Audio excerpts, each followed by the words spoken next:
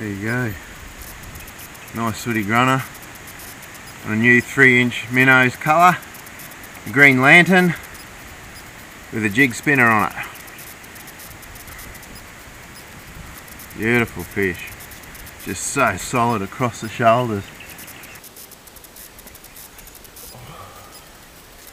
Got raspy jawline. I'm catching these in the weed and um, what I've experienced is pretty hard to get on the cast. They're stuck deep in the weed and I'm using spinner baits and soft plastics with this jig spinner as a weed guard. As you can see there's weed on it on there.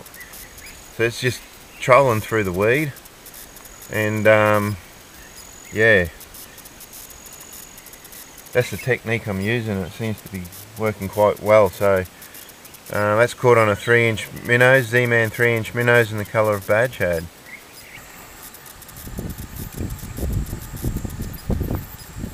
Just to give you an idea what it was. There you go. they go hard.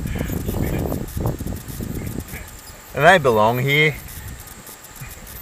They've got every right to be here, every other species, so that's cool. That was a lot of fun.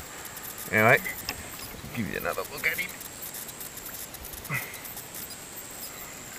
So got some really sharp spines on the pectoral and on the dorsal fin there.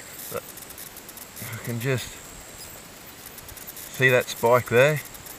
That is hard as a rock and like needle. Same with the petrol petrol fins. So If you get hit by them, it's very very painful and what you want to do is is stick your hand or your whatever part of your body that's been tagged and and, and stabbed by those those um, fins in the hottest water that you can possibly stand and that'll relieve the pain.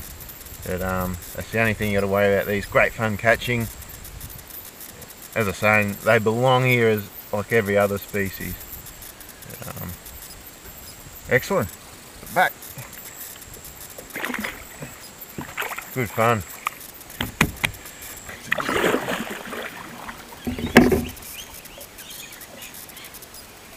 Could be a catfish.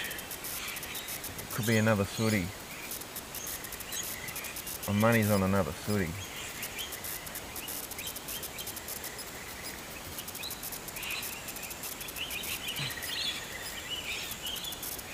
Yep.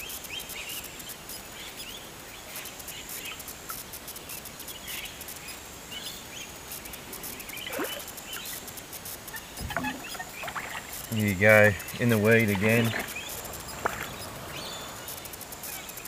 These are the same techniques I use on Australian bass at back home and it's just converting them. These are really the first time I've actually been targeting sooty grunter bringing them up pretty green.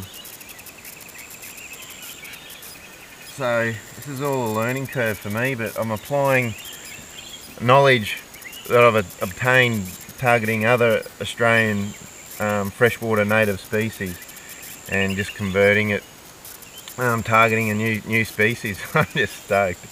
Yeah, a beautiful fish. Absolutely, those real bronzy golden flanks. There you go. Easy done.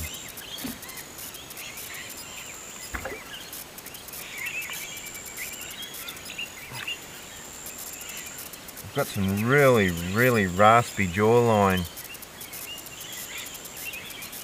grabbing hold of their prey. Yeah. Right, let this one go. Beautiful.